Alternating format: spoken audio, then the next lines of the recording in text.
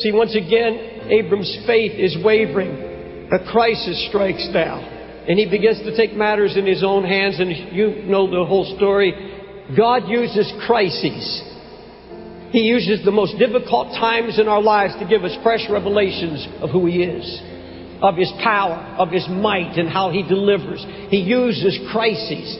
He's in another crisis now. He's taking matters in his own hands. He really doesn't believe that he's going to get this child, so he does it himself and he produces an Ishmael. Now, 13 years go by. Ishmael's 13 years old. He's 99 years old, and he's totally lost confidence and faith in this promise. And when Abram was 99 years old, the scripture says the Lord appeared to him and said, and here's another revelation of who God is and looking at it from different ways, and God is showing its nature, who He is, so that he can have confidence that his faith would be encouraged and put upon a firm foundation, that he be fully persuaded of God's faithfulness. The only reason God is speaking this word to you and I this morning is to encourage our faith, to put a rock solid foundation under your confidence in Him. That you'll be fully persuaded that God is everything He says He is and will do everything He's promised to do. And when Abram was 99 years old, the Lord appeared to him and said, I am the Almighty God. Walk before me. Walk before me and be thou perfect. Here's the revelation. I am the Almighty God. The actual pronunciation in Hebrew is El Shaddai. In our modern language, it's El Shaddai. But it, the proper pronunciation is El Shaddai. And God was speaking personally now. This was God's own voice. Now I'm going to tell you something else about me, about my nature, that you have to understand if you're going to continue in faith. Because everything depended on faith. All the, all of the plan of God was dependent on faith.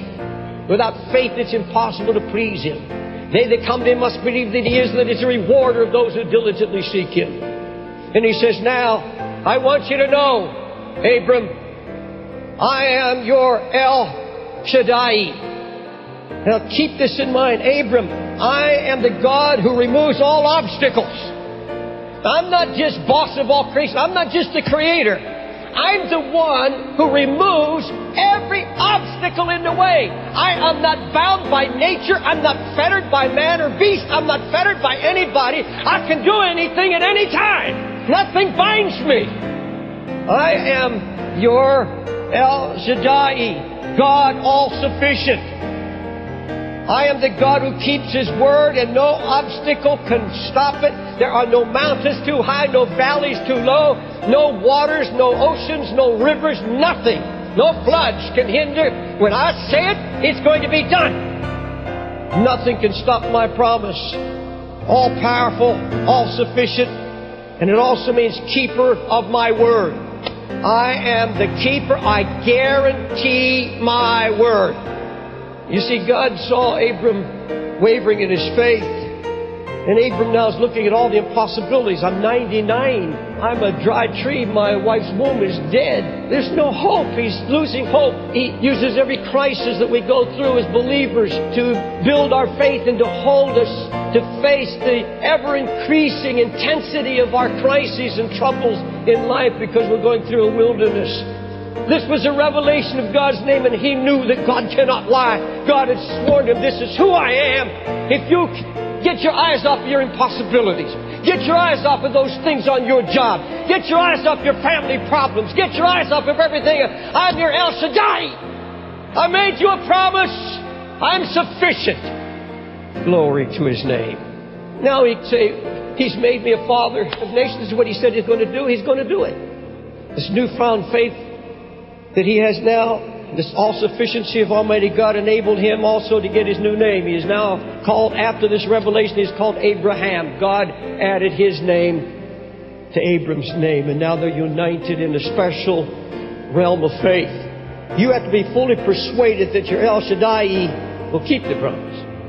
There has to be a full persuasion. I, I know a lot of people say, I have the promise. Yeah, but do you really? Are you fully persuaded that God's going to do what He said He would do? Is that going to bring rest? The evidence of faith is rest. If you're not at rest, you're not in faith.